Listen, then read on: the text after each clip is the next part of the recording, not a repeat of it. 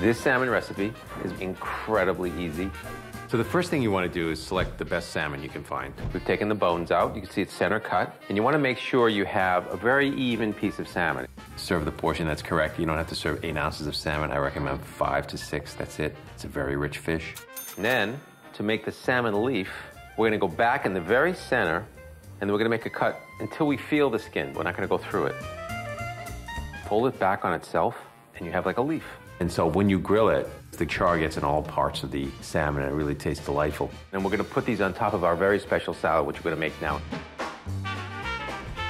First thing we need, a cucumber. And I use the hothouse or gourmet cucumbers, which are the long ones. They're seedless. And what I do is I crush it in a towel and I just smash it with the back of my hand just to get that smell of cucumber going.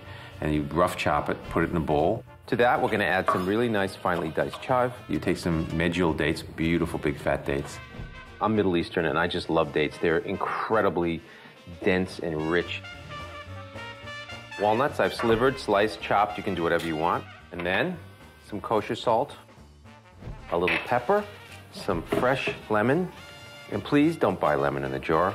Just cut one and squeeze it and a little bit of extra virgin olive oil with a little bit of sliced fennel. You save the fronds, the little green parts, you can actually throw that into that gives it a nice, beautiful, rich flavor as well. Toss it lightly.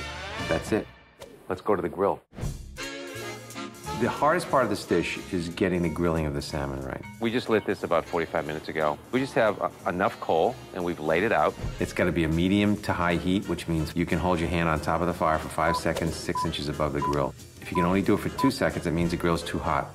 Secondly, the grate, we're going to take a rag, dip it in a little oil, and just wipe it.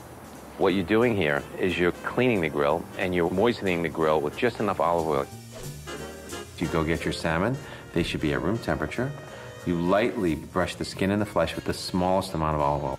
Season it lightly with sea salt, put it on the grill, and walk away. And that's another thing that people can't do. They want to poke it, touch it, and flip it. If it's ready to move, it will tell you. And what I mean by that is it will come off the grill. Ah, you see?